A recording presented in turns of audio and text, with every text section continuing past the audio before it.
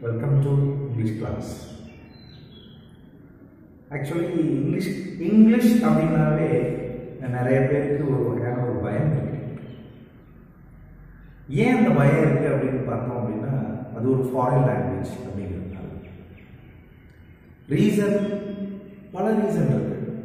For example அதோட உச்சரிப்பு அதில் வர்ற கிராமர்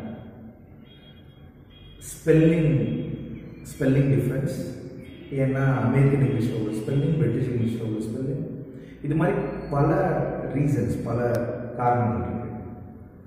ஆனால் அதையும் தாண்டி உண்மை என்னன்னு பார்த்தோம் அப்படின்னா இங்கிலீஷ் வந்து ரொம்ப எளிமையான லாங்குவேஜ் எளிமையான மொழி. அதனால தான் அது வந்து உலகளவில் ஒரு மொழியாக ஸ்ப்ரெட் ஆகிடும் இதுக்கு ஒரு எவிடன்ஸ் சிம்பிளான எவிடன்ஸ் என்னன்னு பார்த்தோம் அப்படின்னா இங்கிலீஷில் மொத்தம் எழுத்துக்கள் இருபத்தாறு தான். இதை நம்ம தமிழ் மொழியோட கம்பேர் பண்ணி பார்த்தோம்னு வச்சுக்கோங்க. தமிழில் மொத்தம் எத்தனை எழுத்துக்கள் அப்படின்னு பார்த்தோம்னா இரநூத்தி நாற்பத்தி ஏழு எழுத்துக்கள் அதாவது உயிரெழுத்து பன்னிரெண்டு மெய்யெழுத்து பதினெட்டு உயிர்மை எழுத்து இரநூத்தி பதினாறு ஆயிரத்து ஒன்று இந்த இரநூத்தி நாற்பத்தி ஏழு எழுத்தை மாஸ்டர் பண்ண நமக்கு இருபத்தாறு எழுத்தை மாஸ்டர் பண்ணுறது எவ்வளோ ஈஸி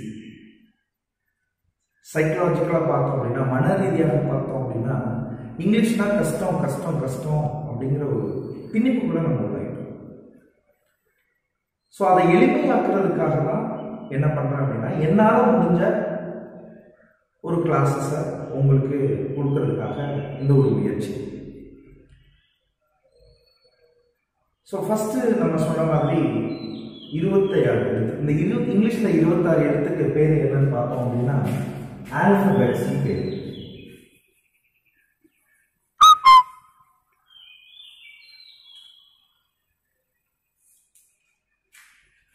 இங்கிலீஷில் டுவெண்ட்டி சிக்ஸ் லெட்டர்ஸ்க்கு பேர் ஆல்பபெட்ஸ் மொத்தம் எத்தனை எழுத்து அப்படின்னு பார்த்தோம்னா இருபத்தி ஆறு. இதை ஏன் ஆல்பபெட்ஸ் அப்படின்னு சொல்றோம் பார்த்தீங்கன்னா இந்த இங்கிலீஷ் மொழியை தெரிஞ்சுக்கிறதுக்கு முன்னாடி அந்த இங்கிலீஷ் மொழியோட ஒரு ஹிஸ்ட்ரிஸை பற்றி ஹிஸ்ட்ரியை பற்றி கொஞ்சம் நம்ம தெரிஞ்சுக்கணும். அந்த லாங்குவேஜோட பேக்ரவுண்டை பற்றி கொஞ்சம் தெரிஞ்சுக்கணும். இங்கிலீஷ் மொழி வந்து பார்த்தீங்கன்னா ஆங்கில மொழி வந்து ஒரு தோராயமாக ஒரு ஆயிரத்தி ஐநூறு வருஷத்துக்கு முன்னாடி தான் தோன்றிய மொழி. அது பழைய மொழி கிடையாது. ரொம்ப பழமையான மொழி கிடையாது. அதுக்கு காரணம் வந்து பார்த்தீங்க அப்படின்னா இந்த மொழியோட முன்மொழிகள் அதாவது எந்த மொழிகள்லேருந்து இது வந்து பார்த்தோம் அப்படின்னா கிரேக்க மொழி லத்தீன் மொழி ஸ்காண்டினேவியன் ஃப்ரெஞ்ச் இந்த மாதிரி பல மொழிகளின் கலவை தான் ஆங்கில மொழி இங்கிலீஷ் லாங்குவேஜ் இப்போ இந்த ஆல்பபெட்டுங்கிறதே பார்த்தீங்கன்னா கிரேக்க மொழியின் நம்பர்ஸ் ஆல்ஃபா பீட்டா காமா அப்படின்னு பார்த்தோம். அந்த மொழியில் அந்த கிரேக்க மொழியிலிருந்து ஆர் அ பெட் அப்படின்னு வச்சாங்க ஆல்ஃபா பீட்டா ரெண்டு ஆல்ஃபாங்கிறது ஃபர்ஸ்ட் அண்ட் பீட்டாங்கிறது லாஸ்ட் நம்பர் ஸோ அதை கம்பைன் பண்ணி தான் ஆல்ஃபபெட்ஸ் அப்படின்னு வச்சுருக்காங்க. ஃபைவ் பண்ணி இருக்காங்க இதில் என்ன அப்படின்னா நமக்கு வந்து இருபத்தாறு எழுத்துக்களை மட்டும்தான் நமக்கு சொல்கிறாங்க ஆனால் இதை தாண்டி ஒரு விஷயம் இருக்குது இங்கிலீஷ் மொழியை நம்ம சரியாக கற்றுக்கணும் அப்படின்னா அதுக்கு என்ன தேவை அப்படின்னா நம்ம கற்றுக்க வேண்டியது நாற்பத்தி நான்கு சவுண்டு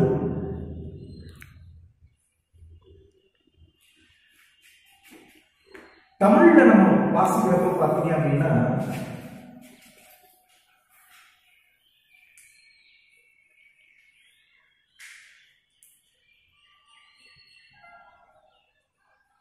பள்ளிக்கூடம்.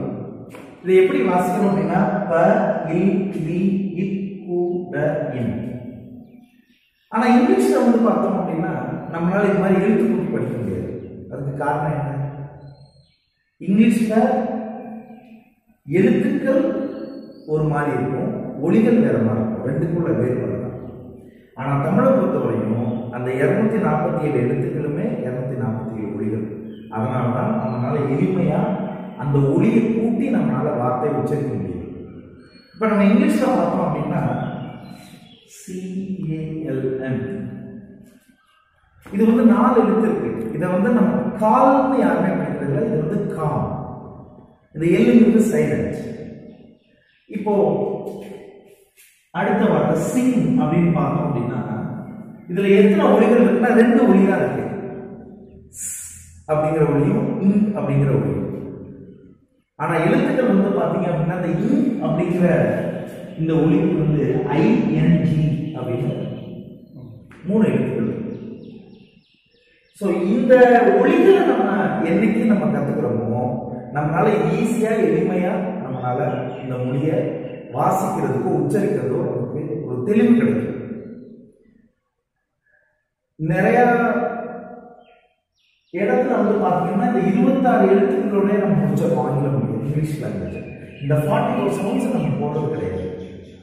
ஆனால் நம்ம இன்னும் ஆங்கில மொழியில் புலமை பண்ணுறோம் லாங்குவேஜில் ப்ரொஃபிஷியன்சி நம்ம ஆகணும் அப்படின்னா இந்த ஃபார்ட்டி ஃபோர் சவுண்ட்ஸ் அப்படிங்கிறது வெரி வெரி இம்பார்ட்டன்ட் இந்த ஃபார்ட்டி ஃபோர் சவுண்ட்ஸுக்கு என்ன சொல்லுவாங்கன்னா இதை பற்றின படிக்கிறது பேர் என்னன்னு பார்த்தோம் அப்படின்னா ஃபெனட்டிக்ஸ்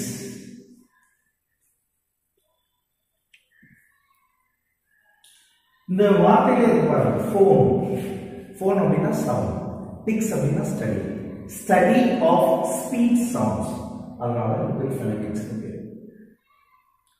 இந்த ஃபார்ட்டி ஃபோர் சவுண்ட்ஸை பற்றி பிறகு நம்ம ஒரு ஸ்பெஷல் வீடியோவில் பார்ப்போம்.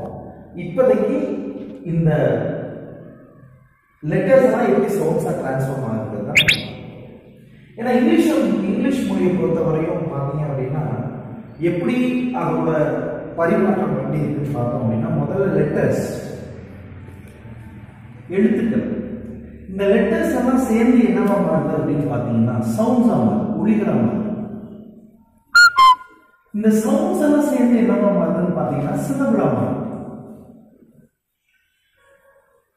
ஆக்சுவலி சிலபிள் அப்படின்னா பார்த்தீங்க அப்படின்னா யூனிட் ஆஃப் அ சவுண்ட் ஒளிகளின் கோர்வை. ஒரு முழு யூனிட் ஒரு முழு தொகுதி இல்ல பகுதி அப்படின்னு கூட வச்சுக்கலாம். இந்த சிலபுள்ள சேர்ந்து என்னவா மாறுது அப்படின்னா வேர்ட்ஸ் வார்த்தைகளா மாறுது திருப்பி இந்த வேர்ட்ஸ் எல்லாம் சேர்ந்து என்ன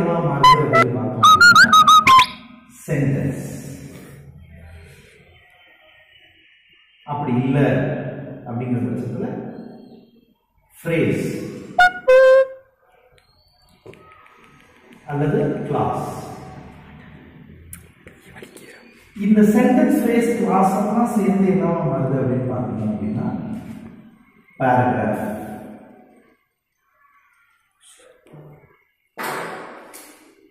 இந்த பேராகிராஃப் எல்லாம் சேர்ந்து என்னவாகுது அப்படின்னா காம்போசிஷன்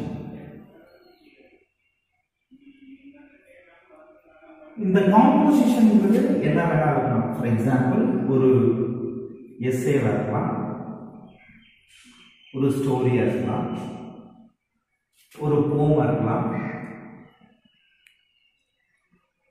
இல்ல ஒரு லெட்டர் ரைட்டிங் இருக்கலாம். ஒரு லெட்டரா இருக்கலாம்.